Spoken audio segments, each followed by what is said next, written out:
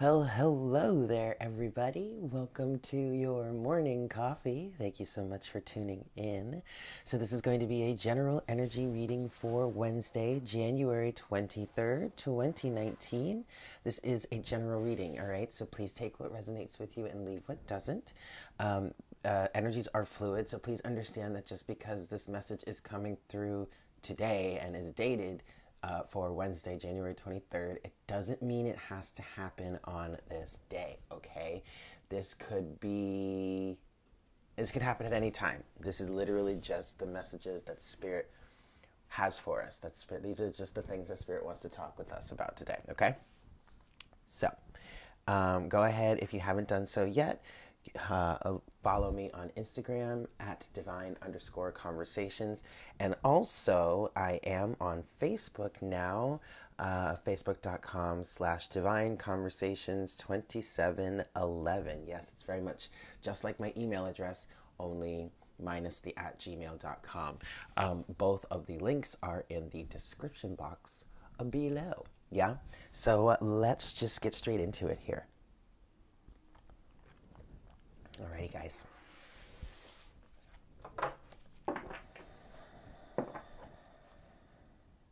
Hi, Spirit.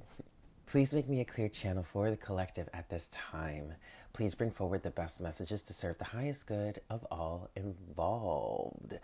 Please bring forward the best messages for today, Wednesday, January 23rd, 2019.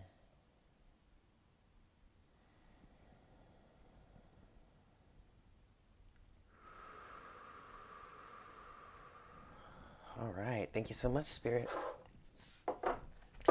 Alrighty, kids. Let's see what we've got today. Just going to give this a few shuffles.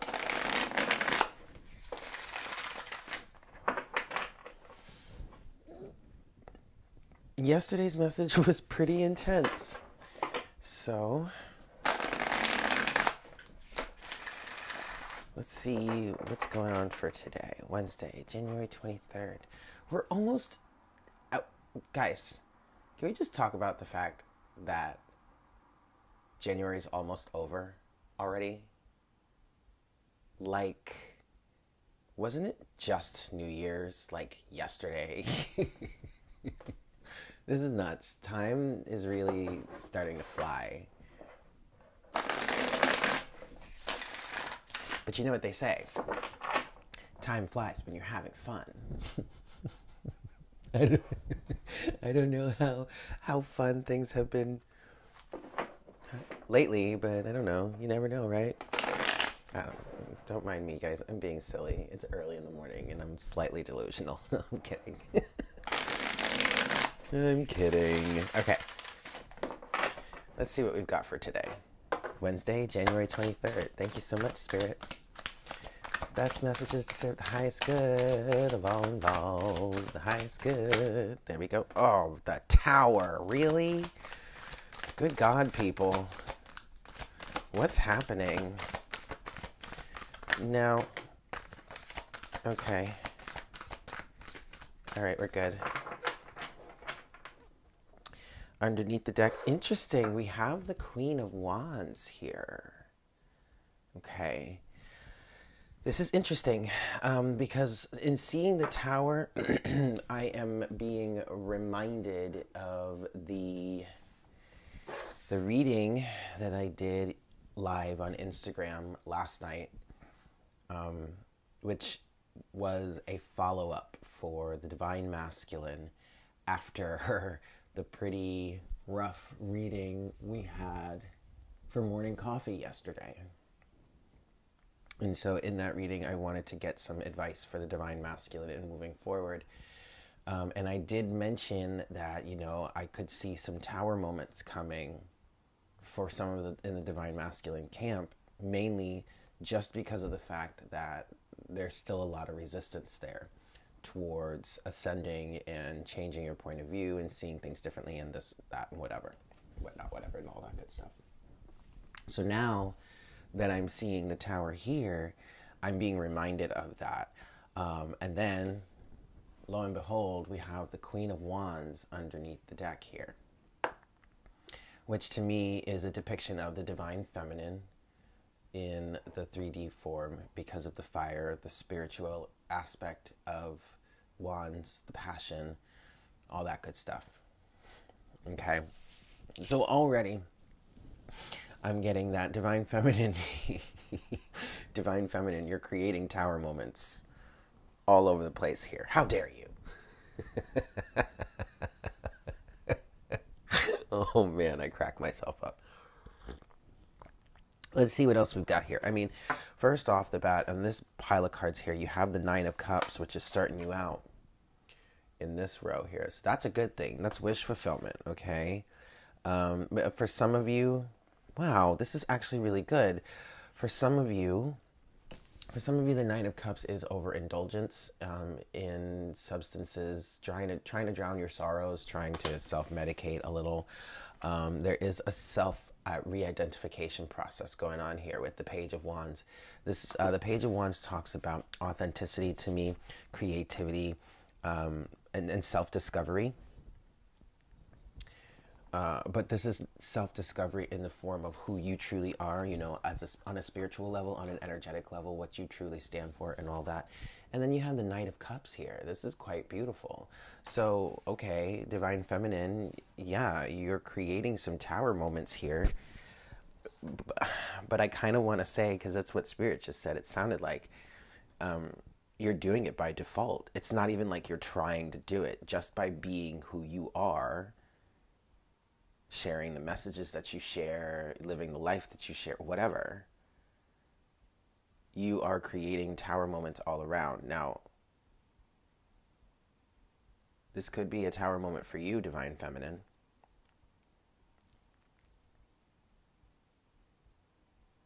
Mm. Mm-hmm but it doesn't feel bad. It feels like wish fulfillment. Honestly, I'm going to go ahead and say that for some of you, this tower moment could be somebody somebody coming into your life and offering you some love here. and it's totally shocking to you. That's really interesting. A soulmate or some a potential partner coming to, into your life and offering you love is a tower moment. Good God, what have we come to?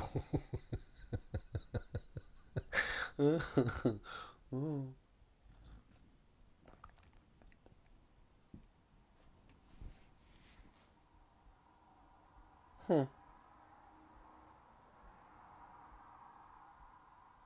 Okay.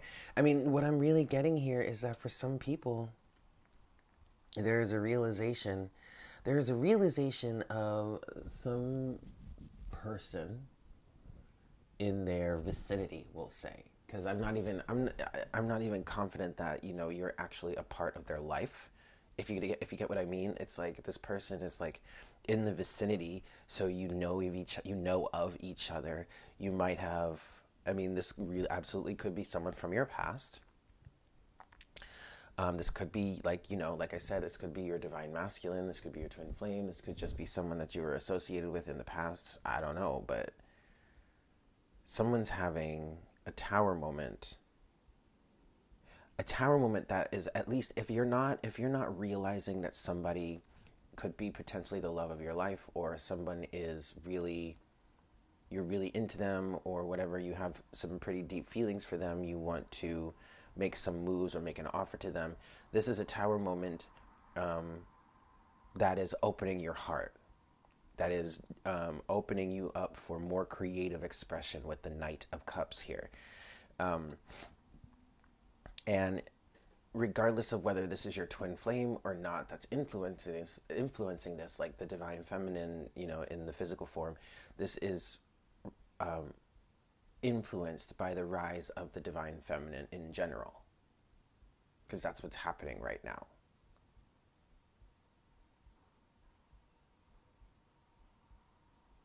That's really quite wonderful.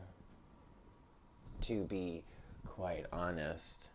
Is this. Yeah, that's it. Spirit saying, yeah, that's it. Ooh, let there be light. That's so much brighter. Look at that, guys. It's fantastic, isn't it? um, yeah. it's interesting because this tower moment really doesn't feel all that bad, but this energy is coming from the rise of the divine feminine here. Uh, they're beautiful. This might be a light tower moment. I'm not, I don't know. I just kind of just want to clarify and see what this tower moment is. So we gonna do that. Let's see. All right, clarification time. What is this tower moment? Because, like I said, it doesn't feel bad. Like, I don't feel this ominous thing. It's just, like I said, it could be a light tower moment.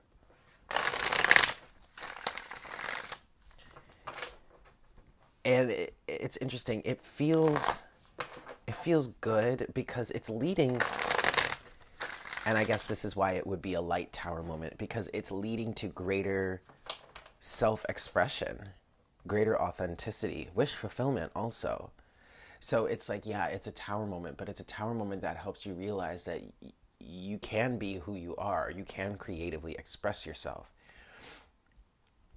This also might be a breakthrough for some of you that might be going through like a dry spell creatively. You could have a breakthrough okay? Because the Page of Wands also talks about creative expression, um, you know, becoming passionate about something and taking steps towards like taking action on it, starting a new creative project. Uh, with the Nine of Cups here, I'm picking up that for some of you,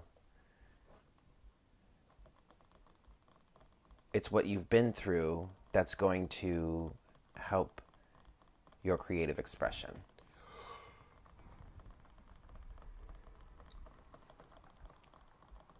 Which is weird. I don't know why I got that from the Nine of Cups, but that's what came through. So, okay.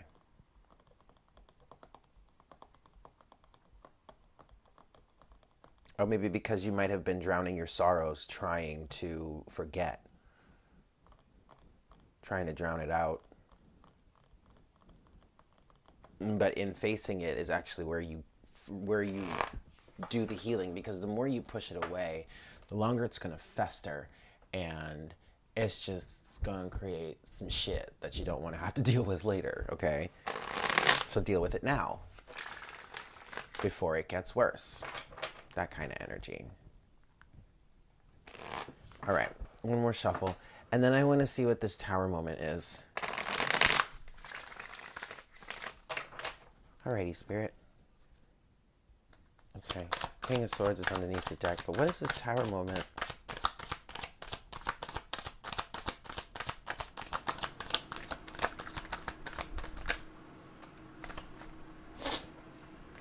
Ooh. Wow. Oh underneath the deck is the Ace of Wands. So yeah, this is a tower moment that's definitely going to create some sort of um, inspiration. This could be sexual in nature. It also could be creative. Okay, like we're seeing with the Page of Wands.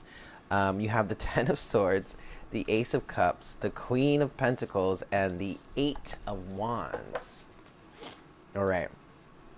So first of all, the Ten of Swords is a completion the end of a vicious, vicious cycle, says Spirit. All right. Um, and then you have the Queen of Pentacles, the Ace of Cups, and the Eight of Wands. So I, I feel like somebody definitely wants to make some sort of offer. Hmm.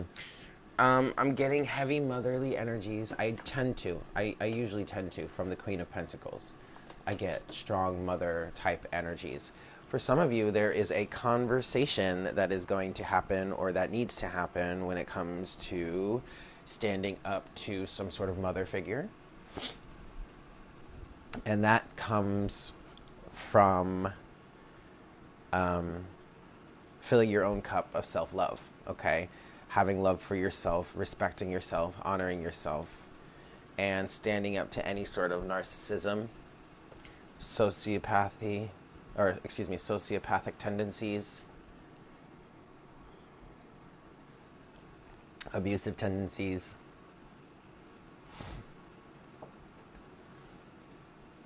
Now, this could also, this Queen of Pentacles could also be that counterpart that you want to communicate with. Um, it could be the Divine Feminine. I have been seeing the Queen of Pentacles as the Divine Feminine lately because it's the embodiment of her in the physical realm, okay? So that would be the physical representation of her. And there's an energy of wanting to make an offer to her, offer some sort of cup, uh, some sort of cup of love, or it could just be having a conversation with her because you have a fuller cup and you respect yourself more, love yourself more, know what you are worth, know what you deserve, this, that, and the other. And now you finally may want to make some sort of move, communicate towards to her or at least just get closer to her. Migrate, I just heard. I'm getting some sort of energy of wanting to make some sort of offer to the divine feminine, a physical offer. This could be creatively. Maybe you might create some sort of artwork for her. Maybe write her a, a song, paint a paint, paint a picture, do something. I don't know, something. Write her a poem,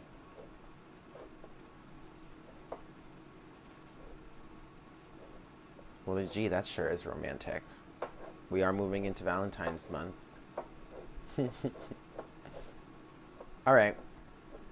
So now let's clarify this bottom row here Nine of Cups, Page of Wands, Knight of Cups. Let's see what we got. Hmm.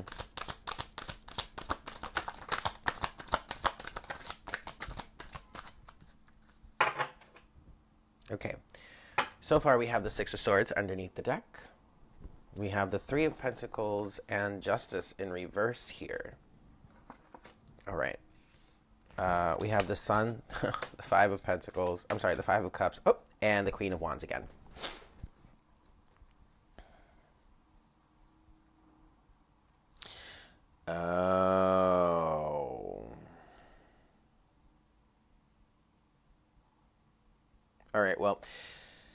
The Three of Pentacles and Justice in reverse, both are in reverse, are on the Nine of Cups. And originally, one of the first things I saw when the Nine of Cups came out was drowning your sorrows. Hmm.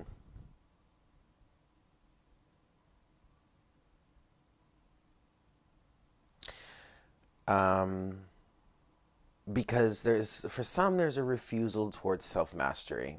You're blocking it out. You're not facing it. And it's creating an injustice but it's not even like it's creating an injustice for anyone else other than yourself. You're just doing yourself an injustice by not working on yourself. And i know it's not easy. I know there's going to be some things that you really don't want to have to face but it's until it's not until you face them that you'll be free from them. Self-medicating, I'm hearing. Now, with that said, on the Page of Wands and the Knight of Cups, we do have the Sun, the Five of Cups, and the Queen of Wands. And what I'm getting with this is first of all, the Sun is the best card in the deck, okay? It is the most optimistic, um, it, no matter what, it's often said that no matter what other icky stuff might be going on in the reading, when the sun is around, everything's going to be okay, probably work out better than you think it, than you might think in the moment. The sun also talks about illusion, not illusion, illumination. Illuminating the illusion, okay? Um, and so like I said, whatever spiritual growth or ascension or tower moment someone is having, it's influenced by the divine feminine here. and someone it what I'm seeing with the Sun and the Five of Cups and the Queen of Wands, to be honest, is that someone is seeing how they've missed out on something. The more the Queen of Wands moves forward and moves on with her life, the more it's illuminated about how much this person may have lost. Or at least perceive that they have lost. Because I, I don't think all is lost here. It's just that there is a lot of cleanup to do. I mean, the air definitely needs to be cleared with the Six of Swords. But there are energies of moving forward. But I feel like for some of you, you're you're giving up and are choosing to stay wherever you are here and not, not to do the self mastery work and not to, you know, bring justice into your life.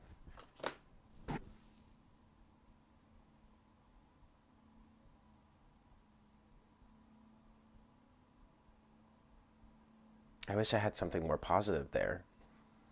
Because it felt positive in the beginning, but now it's like, it's kind of depressing.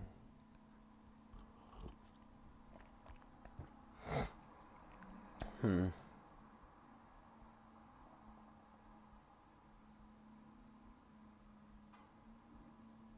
I just.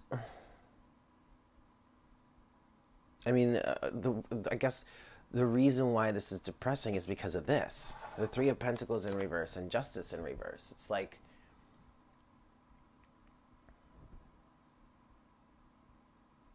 just do the work already. And i mean i guess this doesn't mean it's not ever going to happen. It's just there's a blockage right now. There's a holdup.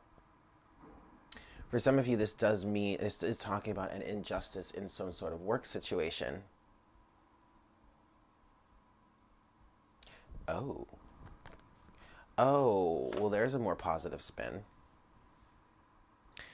Injustice in a work situation, but with the Six of Swords, you most likely left. Or maybe you're on your way out. Like you could be. Um,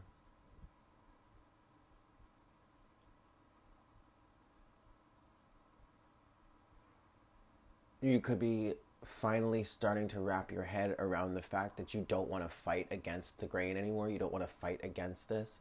I'm picking up that there is some sort of um, hierarchy or something like that within this this job situation, within within this like team situation,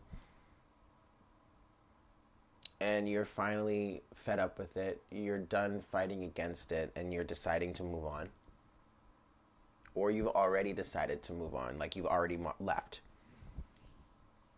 and now some people around you, or at least that used to be around you, um, that you used to work with or whatnot, are seeing the error of their ways.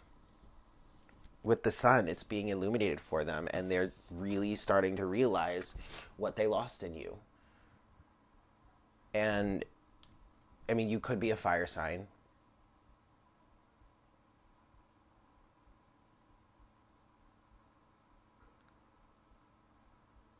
I just I'm feeling I'm feeling strong divine feminine energies within that. Either you are an I mean either you identify as the divine feminine or the energies of the divine feminine influenced this move. And absolutely was the right one. You were acting from a place of self discovery, of um, understanding yourself, of honoring yourself, of being authentic authentic expression, expression from the heart. Okay, that's pretty good.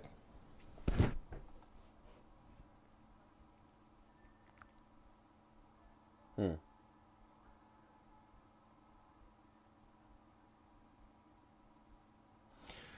Yeah, I'm definitely getting an energy of there are people around you right now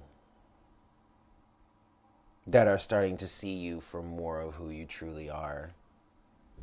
And that absolutely could be happening in your absence. and it's a contrast type of thing. It's like, okay, they saw how things were when you were around, but now that you're not around, um, it's almost like there isn't as much light.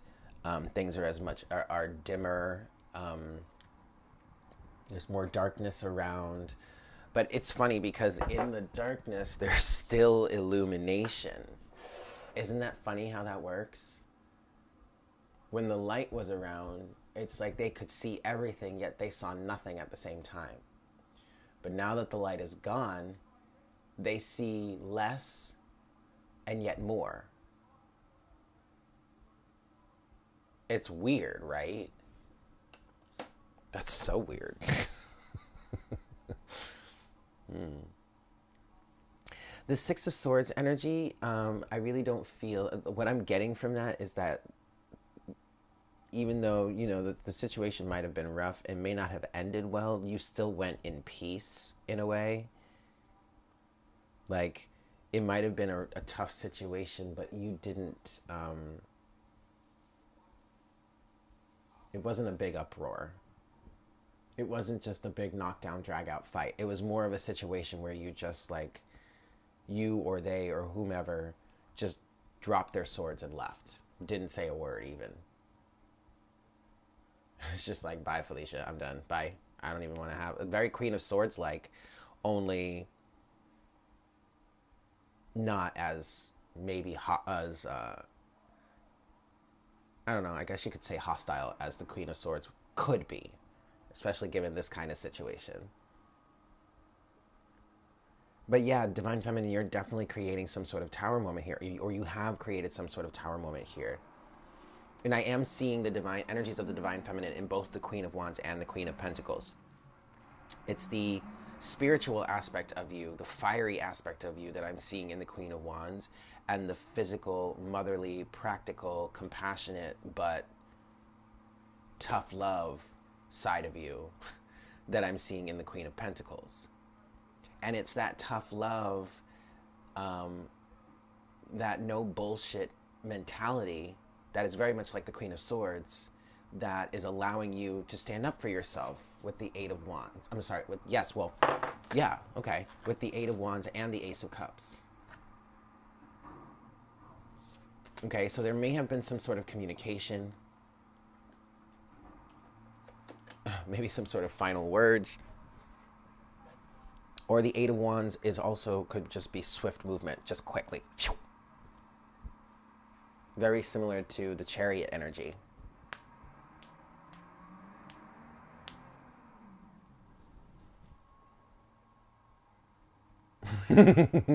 I just thought of the title for the video. Divine Feminines creating tower moments over here. All right, I guess we can move into the oracle section now.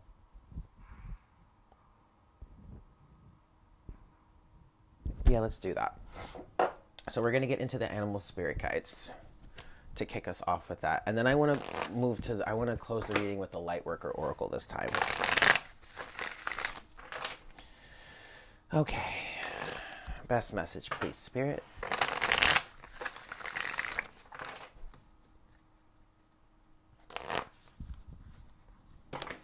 Ooh. Mouse. Oh, goodness. Not mouse.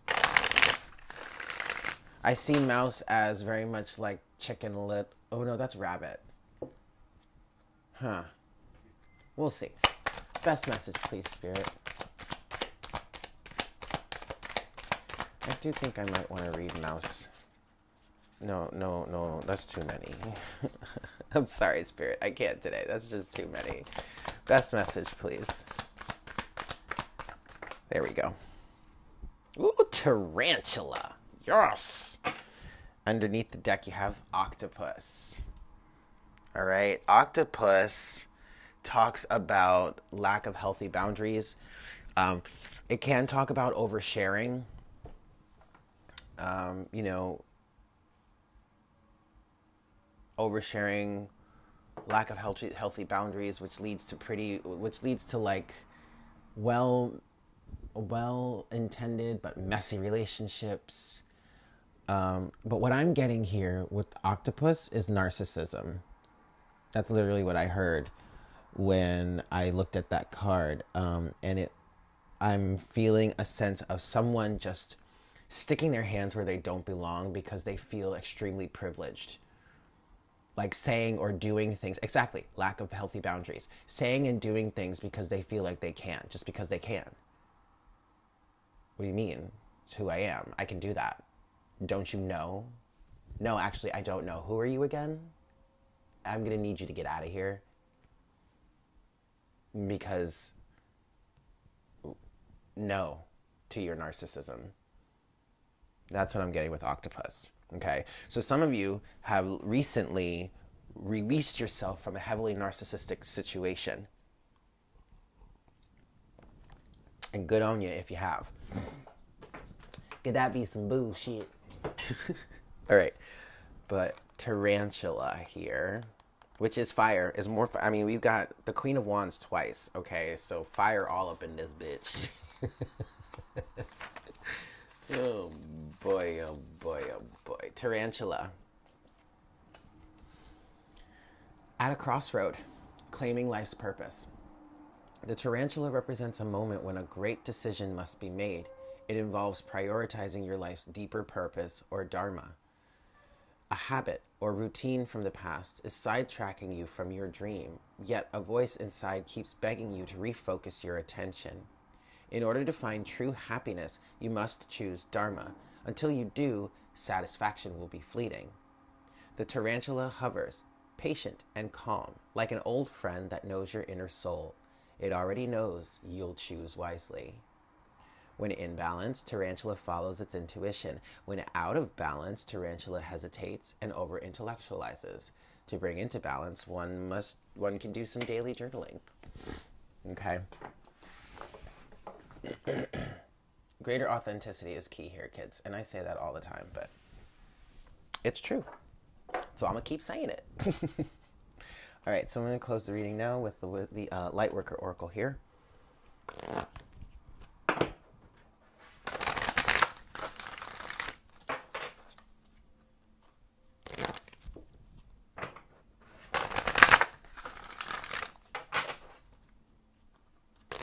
All right. Final message, best message, please, Spirit. Closing message for today's reading. There it is. Ooh, wow. Ooh, that's heavy. That is heavy. Dark Night of the Soul. Ouch. In all of the time that I've been I've been working with this deck for about a year now, and I don't think this card has ever come out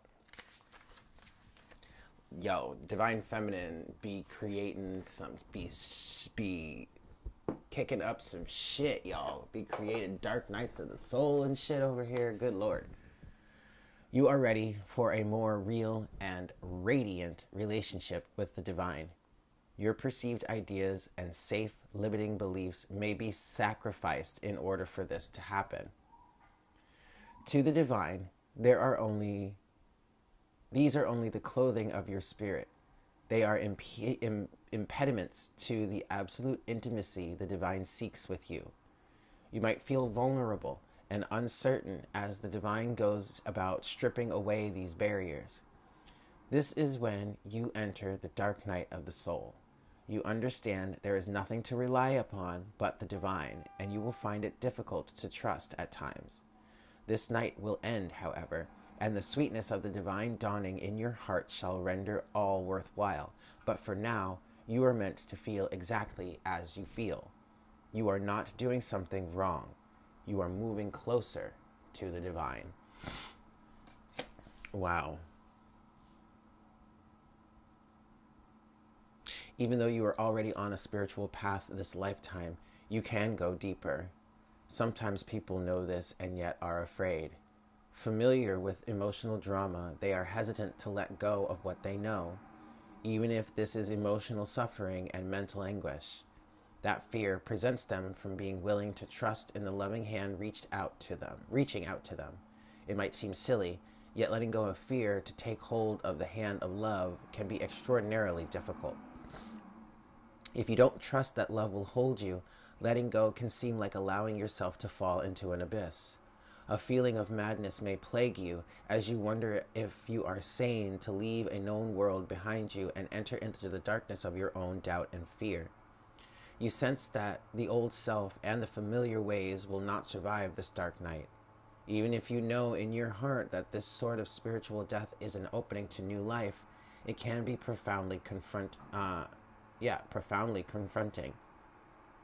The only way to end the dark night is to go through it to endure it, and to know that although you will not understand how it could be possible, it will transform itself into the sweetest grace. In time, you shall be on your knees, not in a despairing prayer, dearest child of love, but in gratitude, peace, and devotion. Though it begins as a challenge, the dark night of the soul will become a saving grace. Love knows you are ready, no matter what you may think at this moment of struggle, you are ready to take this spiritual test and emerge more in love with the divine than ever. Remember, this is an advanced initiation and therefore challenging at a profound spiritual level. Therefore, get some support.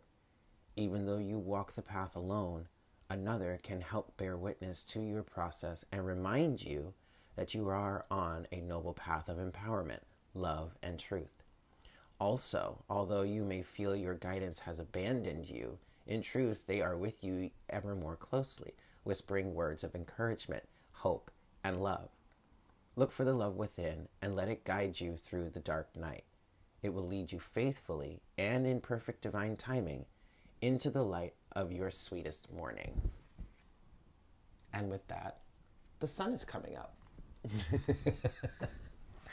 Alrighty, guys. So there you have it. Thank you so much for tuning in.